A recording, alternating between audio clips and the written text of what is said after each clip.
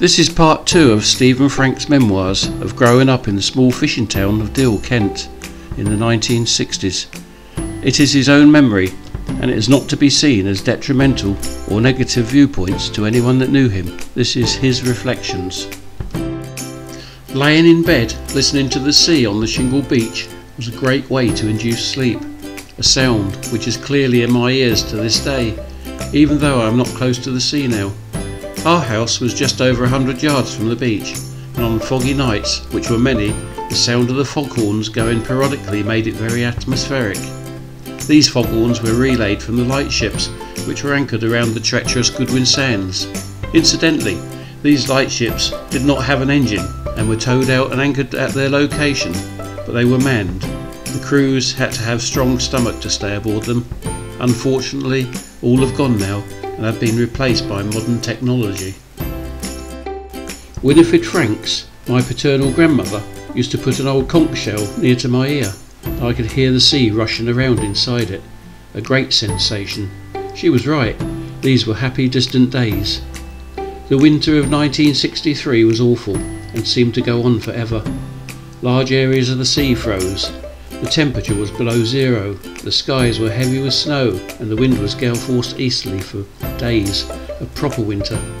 Me, my Uncle Peter, and some friends ventured out onto the seafront to fly my box kite. I remember it being brown with what appeared to be lots of string and wooden strips.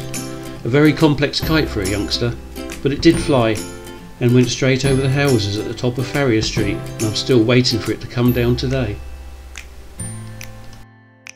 Winters were great in the 1960s. As you opened the door in the morning, the snow fell in. That meant no school.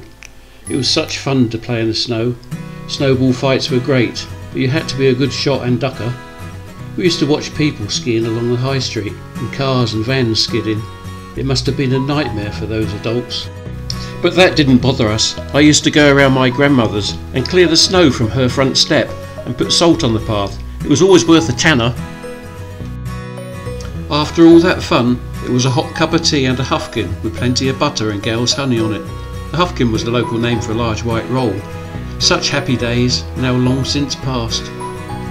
The summers, which always appeared to be long, hot and dry every year in the 1960s, were full of fun. Don Franks, my father, bought me a codline, and I could always scrounge half a score of lugworm from either Terry Franks' shop or from Tony Heath's The Angler's Den and go on the beach to practice my throwing. That was hard work. I used to have it spinning above my head like a sling, but I never caught anything on the beach. It was better to go onto the pier and drop it down over the edge. There was always plenty of starfish, crabs, and the odd plaice or two of a reasonable size, and not forgetting the wilks. I remember going out for days fishing with my dad, Tony Heath, and my cousin Robert Franks in one of the great fishing boats. It was called the If Not or Why Not, these boats were seen as one of the best on the beach. It was such a treat. It was skippered by a guy called Taffy. Jimmy Ickman was his real name. Such a character. It was always a good sensation as the boat was launched down the steep shingle beach on, a, on the greasy planks into the sea. The smell of tar and diesel from the engine, combined with the briny sea, was a heady mixture then. What a day! I remember catching the heaviest cod of the day when we came across a shoal of black bream opposite Sandown Castle. Robert, my cousin, was seasick as they started gutting the fish. Great memories of days gone by. Summer meant Knickerbocker glories at the great ice cream parlour opposite the pier. The parlour is still there, and until recently, the decor was exactly the same as it was in the 1960s, which felt quite strange but good. The ice cream was wonderful. Strawberry and vanilla was mixed in true Italian style. It was such a treat to go in and have a Knickerbocker glory.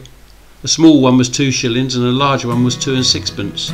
Not forgetting a drink of Horlicks, served in a Horlicks mug with a name on it, and a solid handle, pure indulgence. I remember when there was a nationwide competition held to see what was deemed as the best ice cream in Britain. Deal Beach Parlour came second. I think Ross Ice Creams came first. Airedale Terriers appeared to be very popular when I was young. I recall my maternal grandfather, Charles Boot, telling me the story of, of his wire-haired Jack Russell cross terrier called Mick, who used to get into scraps with the Star and Garter landlord's Airedale at the top of Oak Street. which was a few doors up from where my grandfather and grandmother lived at the time. Incidentally, the Airedale always won, only the Pride was a little damaged on Mick's side. Interestingly, Mick used to stop the bus at the bottom of Oak Street by the town hall and get on the bus. The conductors all knew him. What a treat to have a bus with a conductor on. The bus stopped on King Edward Road, where they would let Mick off. He would go and visit my great auntie Joan Mitchell, my maternal grandmother's sister, long departed now, and after refreshments he would get on the bus and disembark at Seath's the fishmonger's and game shop and return back home. One clever Jack Russell. Seath's shop on the High Street was a very interesting shop. It had an open front and all the fish was on display on marble slabs. They also sold game, depending on the season, from pheasants and hares to unplucked turkeys which hung up on hooks from the ceiling. That was always wondrous to me, certainly a good example of bygone times before supermarkets. One of the highlights in the Deal calendar in those days was the Carnival and Forest Funfair. In my younger days this was located along the seafront from the Royal Hotel to the top of North Street. I recall being told about the young man who was on the rotating swings. These involved little individual chairs attached by a chain to the ceiling of a ride, and it would go round faster and faster until the chairs would swing out over the beach. On this one occasion the chain broke, and the chair, chain and man ended up in the sea. Nobody was hurt luckily, just got a little wet. I often wondered what happened to that man. The carnival was such a special sight, with the Royal Marines brass band playing so loud that I had to cover my ears. Reflecting back on the funfair, it was very traditional, with the galloping horses and steam-powered organ, lots of stalls, the rifle ranges, bumper cars, a ghost train, candy floss and hot dogs, all surrounded by caravans. Such smells, the noise and atmosphere from now bygone times, all for sixpence or a shilling a go. Well, I think that's a good note to end on. I have many memoirs I would like to share with you at a later date. I do thank Dave Skardon and this excellent editing and enthusiasm in keeping past history of Deal Kent alive, which makes this all possible and a reality. But also to all the people whom I have mentioned. A lot now have sadly passed the bar, but these stories are my summer day reflections as I saw them through the eyes of a young boy growing up in the 1960s in Deal. I hope you enjoyed them. Steven Franks.